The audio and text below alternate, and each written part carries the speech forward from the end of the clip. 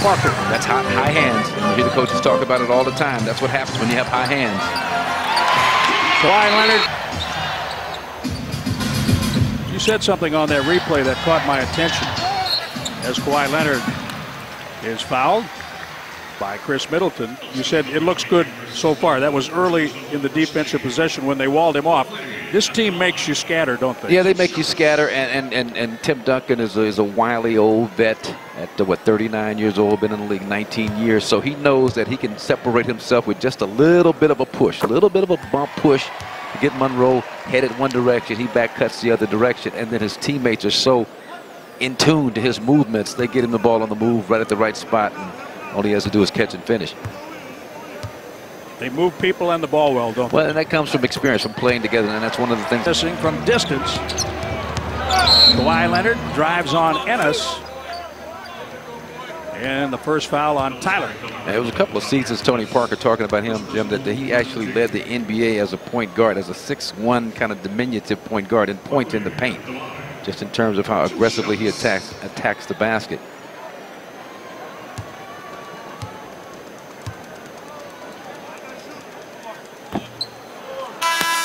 Kawhi Leonard has another free throw coming. Fear the deer. They will. The force will be strong this Saturday night. The Bucks will send their young Jedi's against the Empire State New York Knicks. Star Wars night Saturday starting at 7.30. You get a limited edition Star Wars night shirt and a ticket for as low as $15. Your young guys are old. Sometimes that's what it takes. I respect that. A man who's trying to make his mama happy. Absolutely. He would have done it had she said, go get your hair cut, I think. Yeah. Kawhi Leonard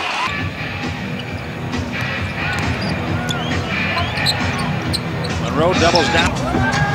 Sees a soft double team and goes across court to Kawhi Leonard. He rumbles through the paint under control apparently. That's the element of his game that he has improved immensely. Just attacking the body of LaMarcus Aldridge. Need a focused defensive possession here. That's not it. Patty Mills. Steph Greg should have, he has to draw that foul against Danny Green. It's kind of like Danny Green to defend him in a post like that and come away with nothing. Parker for three. You, you can't come away empty on a simple inbounds play. Marcus Aldridge. Ball loose. Kawhi Leonard.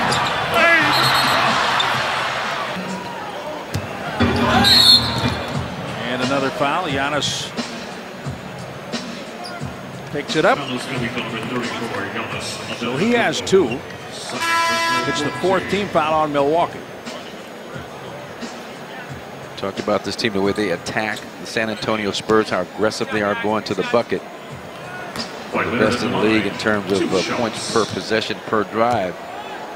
You can see why Kawhi Leonard seeks out the contact, makes sure he gets something out of this out of this possession offensively. Spurs ranked number three in the league, 1.22 points per possession per drive for all you analytic heads out there.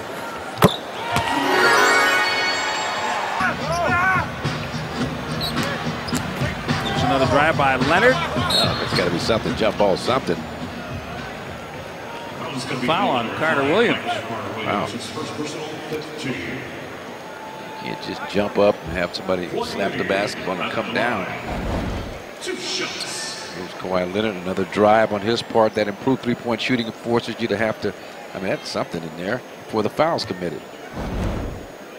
I thought he was up and down with it. Yeah, yeah. I mean, they, they used to be up and down. It used to be a violation, but they started calling that a jump ball. You got to call something, though. Ball was loose, jumped up in the air, came down with it. Nothing.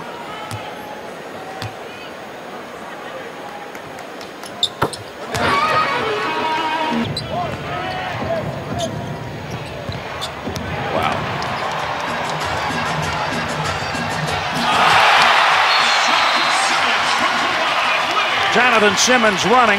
Jason Kidd was out on the court before he finished.